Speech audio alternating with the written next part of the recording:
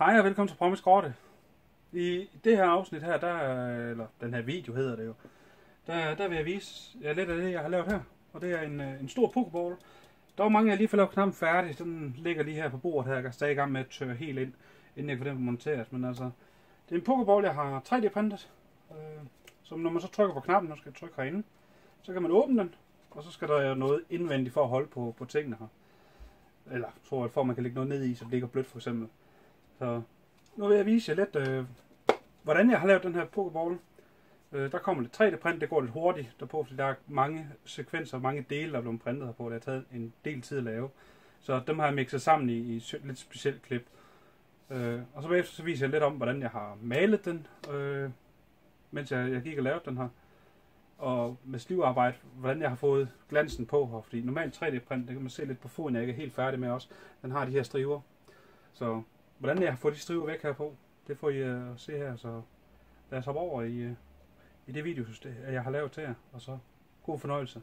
Så ses vi bagefter. Så kan det være, at knappen den er færdig.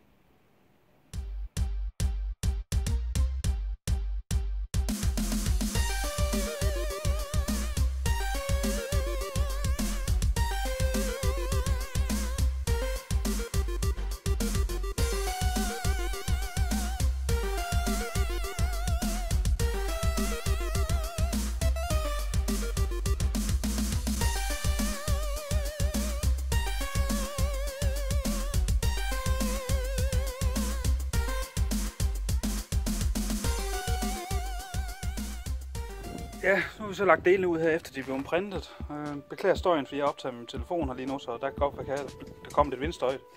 Det blæser lidt her. Men altså, nu skal vi slæve det, og vi starter med at tage noget sandpapir her. Yes, det er en kron 120, jeg bruger til at starte med. Og, og så er det egentlig bare at, at få slæven dem her godt ned, inden vi grunder dem af. Når vi så grunder dem, så kan vi så se linjer stadigvæk, hvor vi mangler at slive, inden vi maler færdig. Så nu skal der bare slives.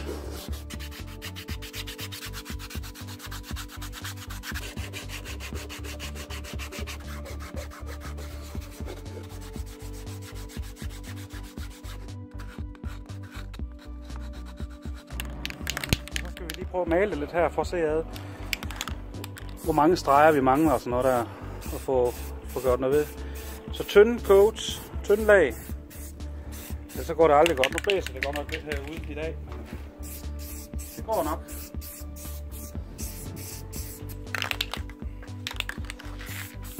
Det, nu laver det en fejl. Dem her skal jo ikke sidde sammen, når jeg maler dem, vel? Så skal vi ikke lige se, at vi ikke får dem fra hinanden igen. Og så kommer der selvfølgelig fingeraftryk på, så den der vil lige tørre, og så sliver vi den igen. Bare lige for at fjerne det. Så den venter vi med. Så, så er tingene blevet overfladetørt her. Og så kan vi jo så lige prøve at, at slippe lidt på det igen, fordi det giver os et indblik i, som I kan se her, hvor stregerne er blevet fyldt. Og så næste lag, det gør så, at det bliver fyldt ud. Og så på den måde, så fylder vi den faktisk op med kroner. Så vi får en helt glat overflade af finish til sidst.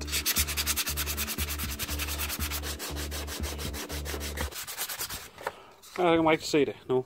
Ikke? Alle de brune steder, det er der, hvor den er fyldt ud, og alt, hvor der er hvid, det er simpelthen der, hvor den har været for høj i forhold til, til resten her.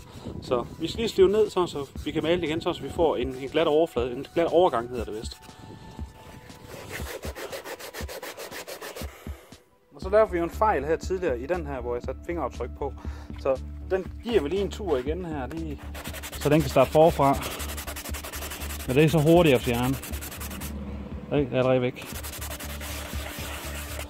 Så tager vi også lige fjerner det øverste lag.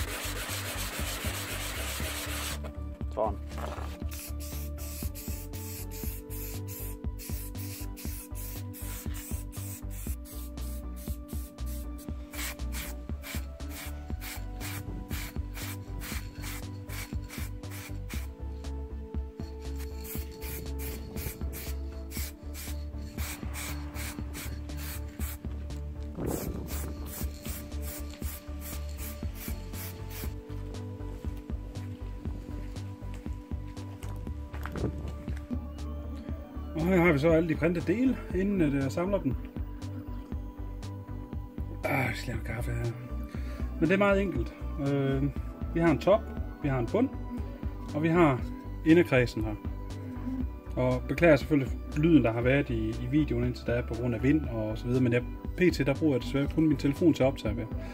Men øh, jeg har malet dem her, ikke over det hele, fordi det er ikke nødvendigt at male det her inde på bagsiden og, og så videre, fordi det forsvinder ind i, øh, i skålen. Og nu skal jeg lige huske på, hvad der er top og bund her. Det er den del, der bliver trykket på der. Okay. Så den her, det er top. Og for at få det til sig sammen, så skal vi lige have noget lim ind i hullerne her. I begge sider. Og det skal jeg lige have, have gjort klar til egentlig. Det har jeg helt glemt. Så er vi tilbage igen. Jeg har lige taget noget lim op på sådan en gammel 3D-print her, der alligevel skal smides ud. Men øh, vi skal, og jeg tager en vatpind til mentalt, fordi der skal ikke så sindssygt meget lim hernede i hullerne. Igen. Øh, det gør ikke noget, at komme lidt op på siden Og nu skal vi, skal lige have det med ind i oh, her der behøver vi ingenting. Og det var så det, vi blev enige om. Det var den røde del, det var toppen. Og så skal vi egentlig bare sætte dem sammen her i, i samlingen. Og der skal man bare klemme til.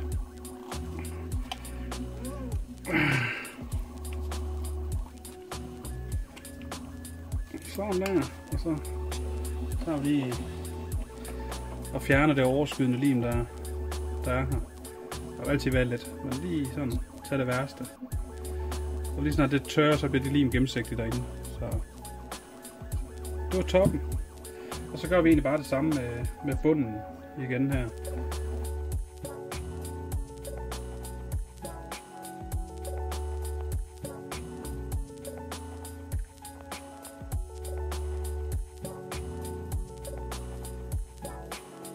Sådan der. Og den ser sgu fin ud. Så har vi top og bund. Det jeg gør nu, det er, at jeg tager et lille stykke materiale til at printe med. Det er det her 3D-print. Og det er det, det er det, vi bruger. Nu tager jeg selvfølgelig sort, fordi når vi så lige tager top og bund og sætter sammen. Her, så tager vi lige det her lille stykke her og skubber ind i hullet, der er lavet her i siden. Og der har jeg lige sådan en, øh, en strips her lige for at hjælpe den helt ind. Og så skar jeg den ind. Sådan der. Og det var det. Og så sætter den sammen. Nu kommer en sådan tricky del, der er, at vi skal have sat knappen fast. Og den skal sidde på den røde del. Og mange vil sige, at den skal der sidde i bunden. Nej, den skal faktisk sidde i toppen. Har jeg fundet ud af. Så der får den lige lidt lim hen i kanten. Så fjerner lige det overskydende herfra, fordi altså, kan vi risikere, at knappen limer sig fast. Det du heller ikke. Jeg skal også gerne kunne trykke på den. Sådan der. Og så skal vi have knap ned i. Og det er bare så simpelt som at skubbe den ned på plads. Selvfølgelig med tapperne den rigtige vej. Sådan der. Og så skal det egentlig bare have lov til at tørre. Og så resultatet ellers.